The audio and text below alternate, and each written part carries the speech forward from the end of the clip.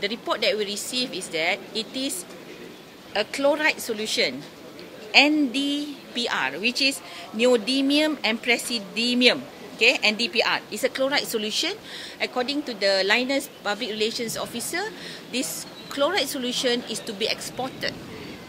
My question to the minister is that the preliminary environment impact assessment, which was uh, approved in 2008, did not mention on exporting chloride.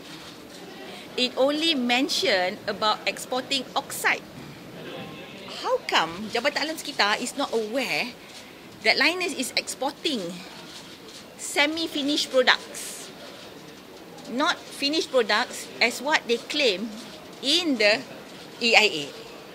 So you you can lulus EIA and then there is no monitoring, there is nothing, you can get away with anything, you know. You nak uh, you nak export semi finished product pun tak apa, you nak you tak ikut whatever you promise in the EIA. So you have to wait for what the minister asks. And why not Kuantan Port? Why Port Klang? That's also another question mark, you know. The reason why they do in Kuantan is because of the port. Why they want to send all the way to Port Klang?